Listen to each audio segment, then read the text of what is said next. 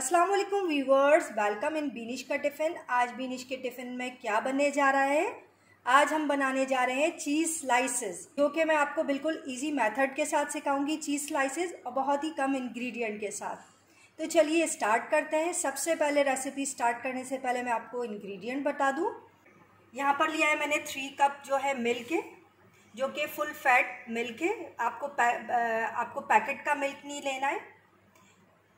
यहाँ पर लिया है मैंने वन टेबल स्पून सिरका। अगर लेमन ऑप्शनल है, अगर लेमन है आपके पास तो लेमन भी यूज़ कर सकते हैं आप। मैंने यहाँ पर सिरका लिया है one tablespoon white vinegar pinch of yellow food colour यहाँ पर मैं अगर अगर पाउडर जिसको चाइना ग्रास पाउडर भी कहा जाता है, यहाँ पर मैं यूज़ करूँगी, क्योंकि यहाँ पर मैं जेलेटिन यूज़ नहीं कर रही, क्योंकि उसमें हलाल और का हलाल का प्रॉब्लम आ जाता है, इस, इसलिए यहाँ पर मैं अगर अगर पाउडर यूज़ करूँगी। अच्छा इन सब चीज़ों के लिए आपको मेज़रमेंट कप और स्पून की ज़रूरत है, क्योंकि यहाँ पर मेज़रमेंट बहुत ज़रूरी है। यहाँ इन सब चीज़ों के लिए आप मेज़रमेंट जो है कप यूज़ कीजिएगा और स्पून यूज़ कीजिएगा, क्योंकि इसमें मेज़रमेंट की बहुत ज़रूरत है। वरना आपकी रेसिपी अच्छी नहीं बनेगी। तो प्लीज़ आप उसको घर के स्पून जो हमारे डेली यूज़ के होते हैं, उससे मेज़रमेंट नहीं कीजिएगा। मेजरिंग कप और मेजरिंग स्पून से ही इसके सारे इंग्रेडिएंट हम लेंगे। तो चलिए हम रेसिपी स्टार्ट करते हैं। सबसे पहले हम मेजर करके टू कप जो है मिल्क ले लेंगे।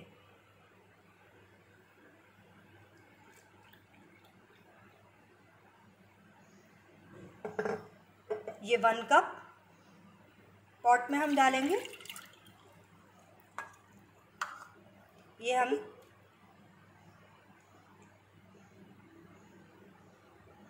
ये हमारे हो गए टू कप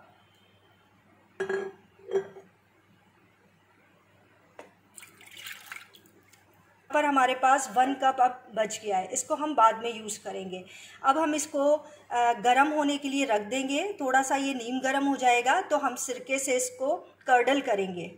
मिल्क जो है गर्म हो गया है, अब हम इसमें थोड़ा थोड़ा करके सिरका ऐड करते जाएँगे। बिल्कुल एक साथ नहीं डलेगा। देख लेंगे हम इसको कि कर्डल हो रहा है या नहीं, फिर हम और ऐड करते जाएँगे इसको।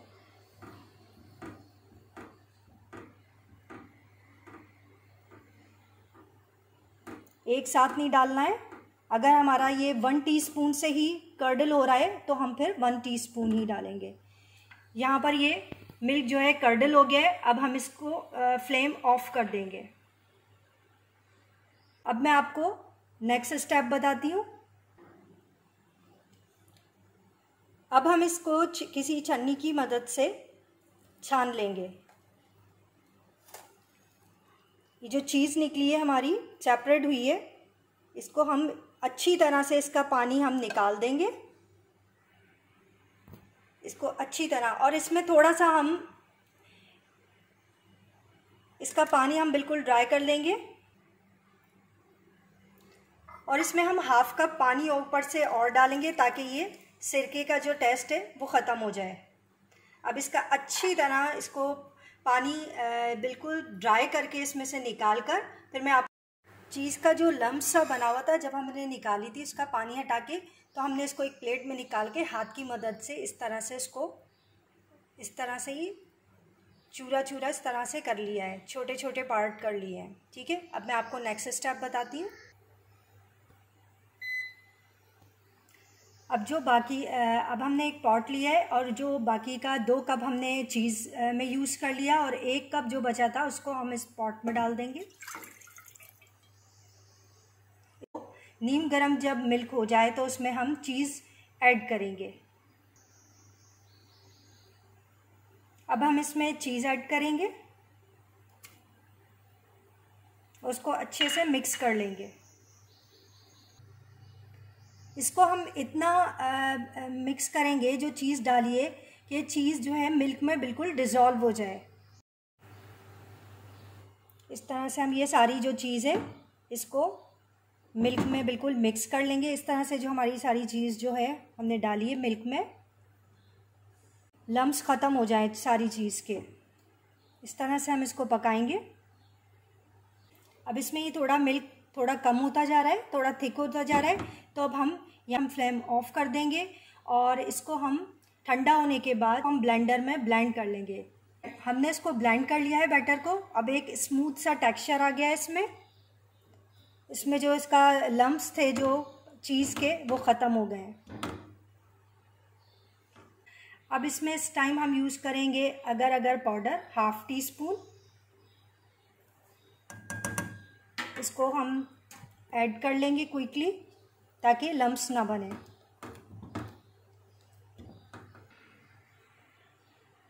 अब इसमें फ़ूड कलर ऐड करेंगे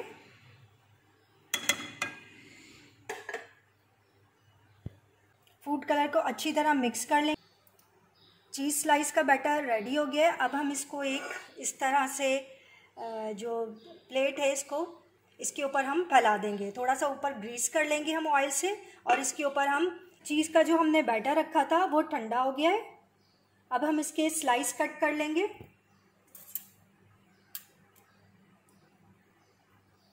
अब हम इसको पीसेस में कट कर लेंगे और फिर मैं आपको प्लेट में सर्व करके बताती हूँ उसका final look homemade cheese slices ready है देखें। इस तरह से ये।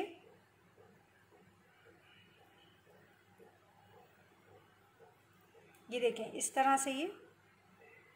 रेडी है। अब इसको आप बर्गर में यूज़ करें या सैंडविचेस में यूज़ करें।